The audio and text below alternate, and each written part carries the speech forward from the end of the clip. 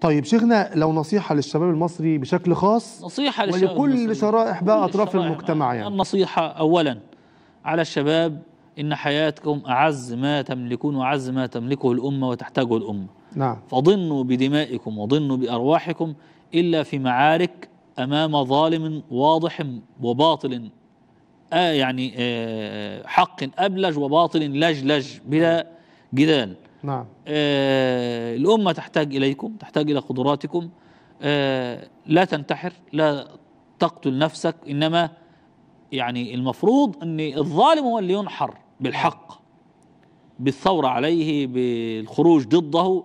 إنما ما- ما فرحوش بإني الشباب اللي زي الورد ده يبقى بينتحر وأنا آه، قاعد يعني أكتفي. الأمر الرسالة الأخرى إلى كل الشعوب العربية الإسلامية يعني ليس من الصواب ومن الحق ومن العقل.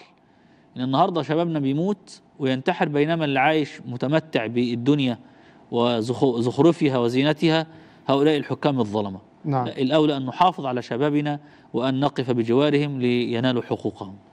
تمام. جزاكم الله خيرا ونفع الله بكم وبعلمكم فضيلة الشيخ عصام.